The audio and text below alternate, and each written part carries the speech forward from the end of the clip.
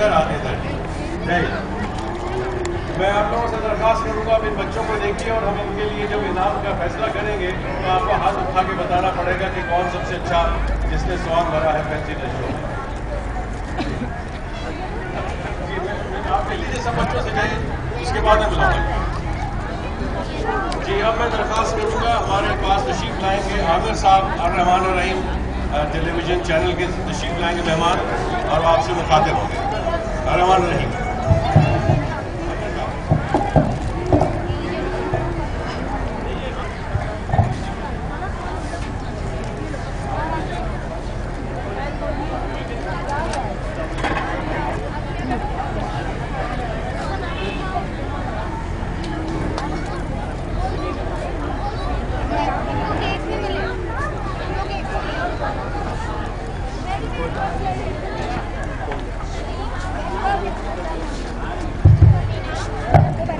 अस्सलाम वालेकुम नाज़रीन मैं यहाँ पे ज़्यादा बात नहीं करूँगा। जैसा कि आप जानते हैं कि रहमान रहीम नेटवर्क एक वॉल्टियर ऑर्गेनाइजेशन है।